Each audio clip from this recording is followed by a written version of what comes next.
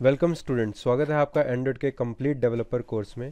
तो आपके डेवलपर बनने की पहली सीढ़ी है डाउनलोडिंग एंड सेटअप तो हमें सबसे पहले इंस्टॉल करना है जेडी के विंडोज़ के लिए। गूगल पे जाकर सर्च करना है जावा जेडी के तो जो पहला सजेशन हमें गूगल देता है, वो देता है जावा एस डाउनलोड का। इस साइट पर क्लिक करें। इसमें साइट पर थोड़ा सा नीचे अगर हम जाएँगे तो जे का ऑप्शन हमें शो हो रहा होगा। जे पे क्लिक करना है, लेकिन इंस्टॉल करने से पहले इस चीज़ का ध्यान रखें। हमें सिस्टम की प्रॉपर्टी में चेक करना पड़ेगा कि एक्चुअली हमारे सिस्टम का वर्जन कौन सा है। जैसे कि आप देख रहे हैं, मेरा 64 बिट है तो मैं साइट से 64 बिट का सॉफ्टवेयर इंस्टॉल करूँगा। मैंने ऑलरेडी ही इसको डाउनलोड कर लिया है तो आपको डाउनलोड करना पड़ेगा। मैंने डेस्कटॉप पे इसको डाउनलोड करके सेव कर लिया है। बड़ा ही सिंपल प्रोसेस है इसको इंस्टॉल करने का। सिंपल डबल क्लिक करना है। और कुछ भी इसमें टेंशन ना लेते हुए सिर्फ़ हमें नेक्स्ट पे क्लिक करना है। ऑलरेडी रिक्वायर्ड ऑप्शंस पे इस पर आपको टिक मिलेगा। मैंने इस वीडियो को छोटा करने के लिए बीच बीच में कट किया है। आपके सिस्टम पे ये इंस्टॉल होने के लिए ज़्यादा टाइम लगा सकता है।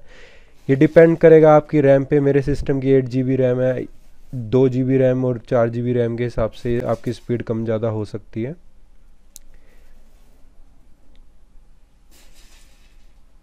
याद रखें, इसको इंस्टॉल करना बहुत ज़रूरी है और इसके लिए एक्स्ट्रा इसको एक्सप्लेन करने के लिए चैनल पे मैं जे से रिलेटेड या और सॉफ्टवेयर से रिलेटेड वीडियोस अपलोड करता रहूँगा। सिंपल सिस्टम पे जाएँ सीएमडी पे जाएँ सर्च करें जावा स्लैश वर्जन ये आपको, ये हमारा जावा सॉफ्टवेयर इंस्टॉल हो चुका है। नेक्स्ट स्टेप है हमारा इंस्टॉल करना है हमें एंड्रॉयड स्टूडियो सेम प्रोसीजर है फॉलो करना है गूगल पे जाना है एंड्रॉयड स्टूडियो सर्च करना है। पहला ही ऑप्शन जो गूगल सजेस्ट करे, उस पर क्लिक करना है। अगर आप जैसे ही क्लिक करेंगे, सामने शो होगा डाउनलोडिंग ऑप्शन एंड्रॉइड स्टूडियो आप, हो सकता है आप जब इस वीडियो को देख रहे हो वर्जन में चेंज हो चुका हो।